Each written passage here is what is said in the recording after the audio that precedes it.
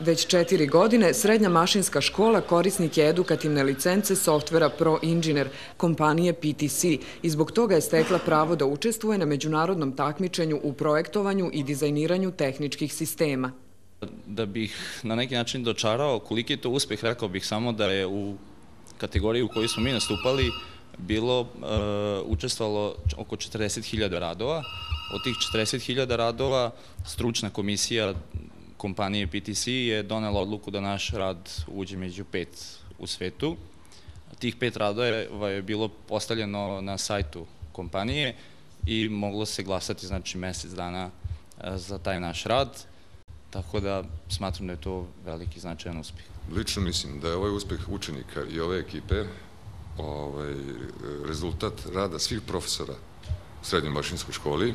Znači da je apsolutno kadar koji je zaposlen u srednjoj mašinskoj školi izuzetno kvalitetan i izuzetno stručan. Mislim da je ovo plod, e, pošto su džaci smera mašinsko e, konstruisanje, znači jedan e, elitni smer srednje mašinske škole i mislim da je stvarno uspeh svih profesora na čelu sa njima.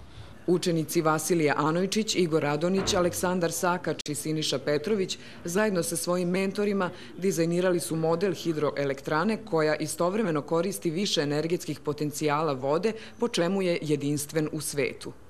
Svi smo podjednako učestvovali u ovom radu. Pre svega je e, bilo potrebno na početku da stvorimo tu ideju. Bilo je tu puno rada, pretraživanja na internetu, e, stvaranje slike kako bi to moglo da izgleda, već da uporedimo sa već postojećim projektima.